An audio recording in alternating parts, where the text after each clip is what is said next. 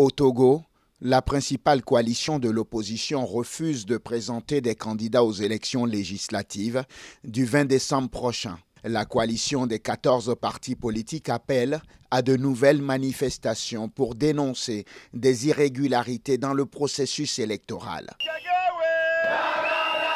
Cette annonce intervient alors que la Cour constitutionnelle togolaise a validé les listes de 12 partis politiques et 17 autres listes provenant de candidats indépendants, mais aucune trace de candidature de membres de la coalition de l'opposition. Si les conditions ne sont pas réunies pour avoir une bonne élection transparente que tout le monde acceptera, il n'y a absolument aucune raison d'y participer. L'opposition togolaise qui exige notamment la recomposition du bureau de la Commission électorale nationale indépendante ainsi que la reprise de toutes les activités préparatoires aux élections a d'ores et déjà appelé à de nouvelles journées de manifestation les 29 novembre et 1er décembre Par tout moyen, nous ferons en sorte que ces législatives n'aient pas lieu. Nous ne voulons plus jamais d'élections frauduleuses au Togo. La C14 dit vouloir simplement exercer son droit constitutionnel pour marquer son désaccord de ce qu'elle considère comme étant un passage en force du pouvoir du président Foria Singbe. Sébastien Chadot-Pétronin est en colère. Le fils de l'otage humanitaire Sophie Pétronin, détenue depuis deux ans au Mali, a entamé il y a une semaine un voyage au Sahel pour tenter d'intercéder en faveur de la libération de sa mère. Pour lui, l'État français ne fait pas assez. Euh, définitivement non, euh, mon État ne fait pas assez. Euh, il nous fait savoir que tous les moyens sont mobilisés, mais on n'a pas d'explication et on n'a pas de concret. Donc tous les moyens sont mobilisés, oui, c'est-à-dire que l'État français fait des recherches, essaye de localiser ma mère, essaye de déterminer avec précision qui détient ma mère, qui est responsable de son sort, qui est notre interlocuteur, mais tout ça ne suffit pas. Sébastien Chadot-Pétronin demande au président français Emmanuel Macron de clarifier sa position. L'État français n'a pas mis en place le mécanisme de communication. Et c'est pourquoi je me rends sur place et je ne, je ne me vois pas possible de rentrer en France tant que je n'ai pas réussi à mettre en place ce mécanisme de communication. Face à l'inertie du gouvernement français, il fait appel à l'aide internationale. L'idée qu'on a eue, c'est d'organiser à Genève c'est une ville internationale et c'est une ville qui se trouve dans un pays neutre. C'est d'organiser à Genève une conférence, un meeting, où on inviterait euh, quelques personnes de chaque famille pour essayer de parler de, notre problème commun et de se réunir sur ce problème commun. Pourquoi pas de former un comité de soutien international La dernière vidéo où apparaissait l'otage de 73 ans longue de 7 minutes, a été reçue mi-juin. Elle y apparaissait très fatiguée, le visage émacié, et en appelait au chef de l'État français. En Somalie, les Shebabs revendiquent une attaque contre un lieu de culte musulman. L'attaque a fait au moins 15 morts. Elle a eu lieu ce lundi. Elle visait le leader religieux Abdiweli Ali Elmi, présenté comme le chef d'une secte soufie. Les insurgés Shebab, affiliés à Al-Qaïda, ont revendiqué l'attaque, expliquant avoir ciblé ce chef religieux parce qu'il avait prétendu être un prophète. Le groupe des assaillants était composé de quatre hommes armés et un kamikaze. L'un d'entre eux aurait été capturé vivant et les autres tués.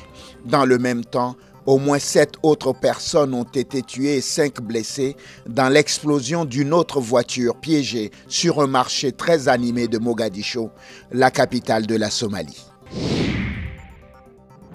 Au Burkina Faso, le général Gilbert Diendéré a nié ce lundi avoir été le cerveau de la tentative de coup d'État de 2015 dans son pays. Présenté comme le cerveau de ce putsch manqué, sa comparution devant le tribunal militaire de Ouagadougou était très attendue. Je n'ai ni commandité, ni planifié, ni organisé, ni exécuté ce que d'aucuns appellent le coup d'État du 16 septembre 2015, a déclaré le général Alabar, reconnaissant tout de même avoir assumé une situation donnée. Le général Diendéré, qui avait pris la tête du coup d'État manqué, est accusé d'attentat à la sûreté de l'État, trahison et meurtre lors des événements qui ont fait 14 morts et 270 blessés. Depuis ce dimanche, le président tchadien Idriss Déby a entamé une visite en Israël, la première effectuée par un chef d'État de son pays. Le Tchad et Israël n'entretiennent plus de relations diplomatiques depuis 1972.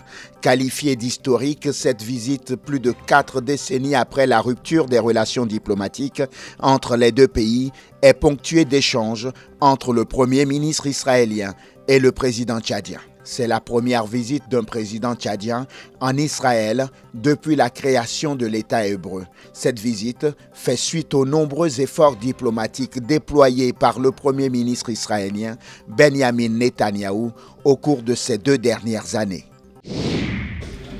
Le premier forum continental de GMS et Afrique vient de s'achever à Libreville. Plus de 400 délégués d'Afrique, d'Europe et d'ailleurs ont des jours durant focalisé leurs attentions sur les technologies innovantes dans le domaine de l'observation de la Terre comme facteur incontournable du développement socio-économique de l'Afrique. Le point le plus important à mon avis, c'était surtout la partie euh, service. C'est-à-dire qu'on est parti sur les besoins identifiés des utilisateurs, Bon, nous, l'Afrique centrale, on est parti sur le plan de convergence de la CAC, la Comifac, et de proposer les services dans ce sens-là, notamment le suivi de forêt, zones humides, pêche, euh, gestion de la dégradation et la sécurité. Donc, nous sommes partis de là et le plus important, c'était ça ici pour savoir si tout le monde est sur la même longueur d'onde. Parce qu'il euh, faut que le haut capteur soit le même. On a parlé des produits, on ne parle plus de produits aujourd'hui. C'est-à-dire vous produisez quelque chose, vous allez jusqu'à l'utilisateur pour vous montrer comment il doit utiliser comment il est utilisé et dans quel format. En plaçant les utilisateurs finaux au cœur du développement des produits et services, GMS et Afrique est devenu une vision pour la gestion durable et efficace des ressources naturelles et de la sécurité en Afrique. Preuve d'une Afrique unie pour son avenir. Certes, la Commission de l'Union européenne nous finance à coût de 30 millions d'euros, mais la Commission de l'Union européenne ne gère pas ce programme. C'est la Commission de l'Union africaine. Vous avez vu les participants, il y a 90% des participants qui sont des Africains, qui décident d'eux-mêmes. AGIO, c'est un consortium la, du programme GMS en Africa. Aucune personne n'intervient dans la gestion de ce fonds qui s'est fait en fonction des règles de la Commission de l'Union africaine, en fonction des besoins des citoyens africains. Le programme GMS et Afrique a été lancé conjointement en 2016 par l'Union africaine et l'Union européenne pour renforcer les capacités en Afrique pour l'exploitation optimale des systèmes, des données et des technologies d'observation de la Terre. Le ministre russe des Affaires étrangères, Sergei Lavrov, a accusé ce lundi l'Ukraine d'utiliser des méthodes dangereuses dans le détroit de Kerch au lendemain d'un incident sans précédent qui a conduit à la capture de trois navires ukrainiens par la marine russe. Dimanche, la marine russe a capturé deux navires de guerre ukrainiens et un remorqueur que Moscou accuse d'être entré illégalement dans les eaux territoriales russes au large de la Crimée annexée. Kiev a demandé la libération de ces marins, dont plusieurs ont été blessés, et de nouvelles sanctions contre la Russie. Dans un nuage de gaz lacrymogène, quelques 500 migrants ont été repoussés par les gardes-frontières américains. Ils tentaient de traverser la frontière à Tijuana par tous les moyens. Les migrants honduriens s'étaient d'abord rassemblés dans le calme pour réclamer le droit de déposer une demande d'asile. Mais la situation a rapidement dégénéré quand une partie du cortège a tenté de franchir illégalement les barbelés séparant le Mexique et les États-Unis. Cet incident a provoqué la fermeture temporaire de la frontière de Tijuana. Depuis une semaine, quelques 5000 personnes fuient la violence et la pauvreté au Honduras. Le président américain Donald Trump a envoyé près de 9000 militaires pour empêcher toute tentative d'intrusion. Au cours de l'année 2017, 109 femmes ont perdu la vie sous les coups de leurs conjoints ou ex-conjoints en France, selon des données compilées par la police et la gendarmerie et rendues publiques par le ministre français de l'Intérieur. Les violences conjugales font une victime tous les trois jours. À ces 109 femmes victimes, il faut ajouter 16 hommes tués par leurs compagnes ou ex-conjointes. Et 25 enfants ont également été tués dans le cadre de violences conjugales.